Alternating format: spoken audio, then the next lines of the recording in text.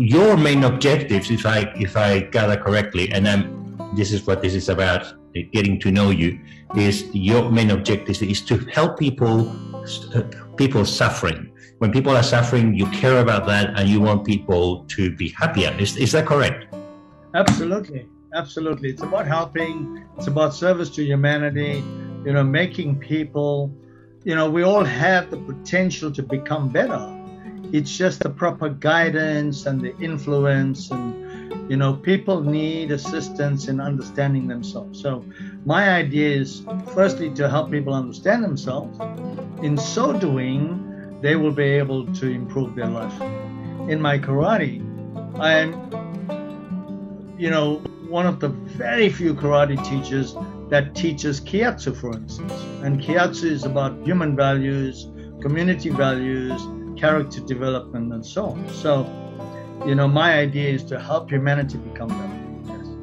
Yes. And in the interest of transparency, I mean, my my wife, when she was a little girl, she actually studied with you. She went to karate with you, and one of the things that she tells me all the time is that with sensei at the time you were sensei now you're hanshi but at the time she said with sensei mm. We did a lot of um, talking about spirituality and about morality and about living the right life.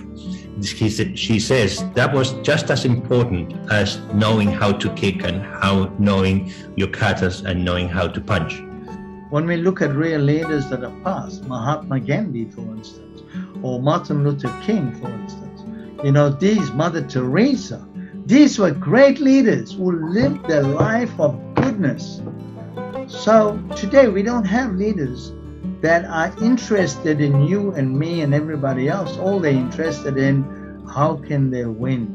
How can they be richer, more powerful, and have control?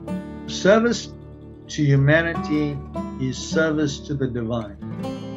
So these I like that. Service to humanity is service to the divine. So these four individuals, and of course there were a few others, these four individuals was about serving humanity. So what we need to do is what can we do for other human beings? Not what those human beings can do for us, but what can we do for them to improve their life? That's what I see. I see karate as a tool. I see SMA as a tool. I see keihatsu as a tool to improve people so that they lead better lives they become better when they look back and they say, I have been a good father, I've been a good mother, I've been a good husband, I've been a good wife, and so on and so forth. All the roles that they play, they can stand back and say, on their last breath, I did the best I can in all the roles I played. Hi, I'm Emmy Golding, Director of Psychology for the Workplace Mental Health Institute.